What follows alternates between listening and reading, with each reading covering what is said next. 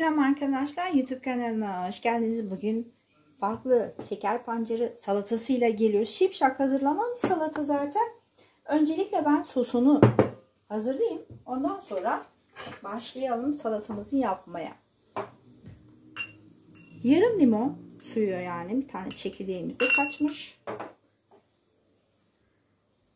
Bir fincan sıvı yağ ama küçük kahve fincanı ve yarım fincan nar eşkisi ekliyoruz.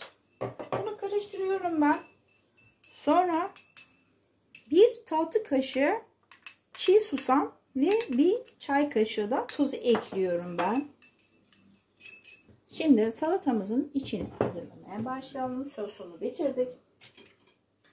Önce iki şeker pancarı haşladım. Doğradım böyle. Çok güzel bir doğranış var.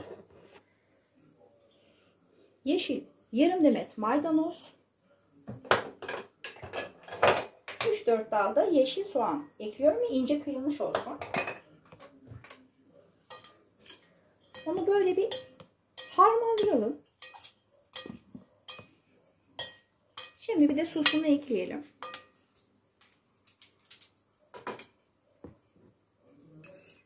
Ve sosunu ekliyorum ben. Çok lezzetli ve harika bir sosu var. Ve şimdi sosuyla harmanlayalım.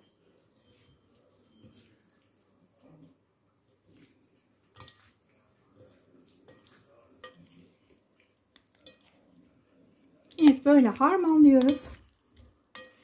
Yeteri kadar harmanlandı.